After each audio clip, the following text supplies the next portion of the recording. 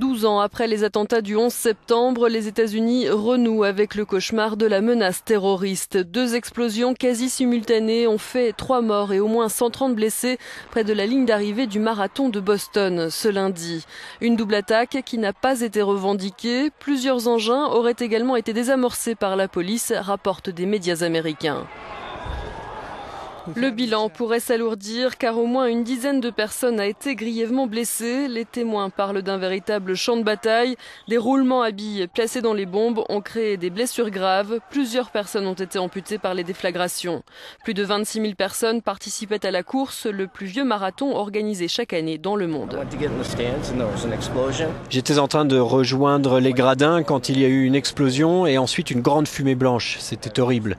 C'était traumatisant, je ne sais pas comment dire autrement. Il y avait des familles autour de nous avec des enfants qui criaient et qui hurlaient. On a juste essayé de partir de là aussi vite que possible. Mais même, rester près de ces grands immeubles, ça fait peur.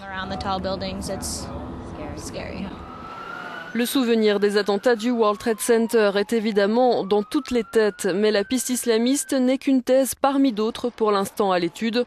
Le FBI a perquisitionné un appartement dans un immeuble de la banlieue de Boston sans avoir donné plus de précisions. Aucun suspect n'a été arrêté pour l'instant.